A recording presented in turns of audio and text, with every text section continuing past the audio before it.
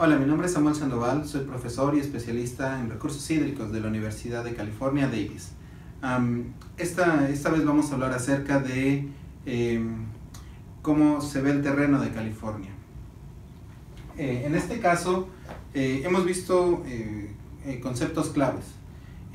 los ríos atmosféricos, el clima, el estado del tiempo en California y cómo son, por qué es importante la nieve en California. En este caso, eh, los científicos le llaman a esto cuál es la fisiografía de California. Eh, yo les voy a describir cómo se ve eh, los terrenos, cómo se ve el, el, terreno en California. Empecemos por dibujar California. Ahora, imaginemos, tenemos California, tenemos en esta parte todo lo que será la Sierra Nevada y el Valle Central. Imaginemos a California como una tina de baño.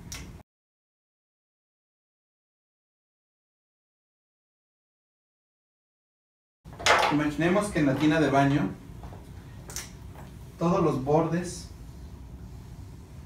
de la tina de baño en este caso serán los Cascades, la Sierra Nevada, los Tahachapis, la Sierra Costera, que son los bordes del, de la tina de baño. Imaginemos que en el fondo de esta tina de baño tenemos, está toda llena de sedimento, como sucede en el Valle Central. ¿Cómo es la hidrología? ¿Cómo se mueve el agua en esta parte donde tenemos montañas con respecto a cómo se mueve en el valle? Es distinto. Déjenme explicarles cómo. Como vimos en otras sesiones, la mayor cantidad de nuestra lluvia viene en forma de ríos atmosféricos. Cuando llueve, en este momento les voy a explicar cuál es la hidrología, cómo se mueve el agua en las eh, paredes del, del, de la tina.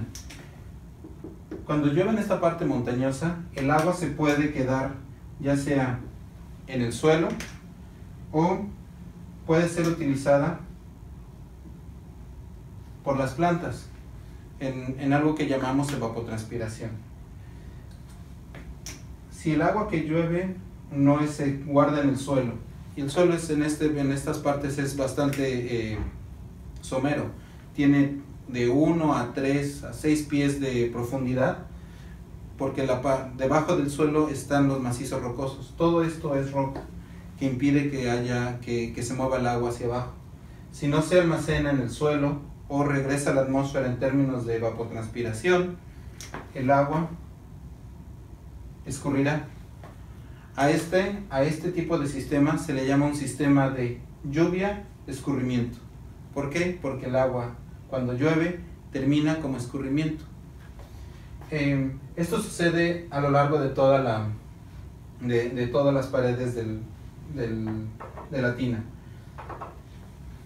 El proceso que sucede en los valles es más o menos parecido. Nuevamente nosotros tendremos lluvia y esa lluvia cuando cae podrá regresar a la atmósfera debido a la evapotranspiración de las plantas. Em, pero esta lluvia no solamente se puede quedar aquí en esta capa del suelo. En el valle, como está lleno de sedimentos, el agua puede seguir hacia abajo, su camino hacia abajo, hasta llegar a recargar los acuíferos. Si el suelo está muy saturado, es decir, ha llovido mucho y ya no permite más mover agua, el agua irá hacia los ríos. En este caso, el sistema que tenemos aquí es un sistema de lluvia, escurrimiento y acuíferos. Si se dan cuenta es un poquito más complejo que el que teníamos en, las montañas.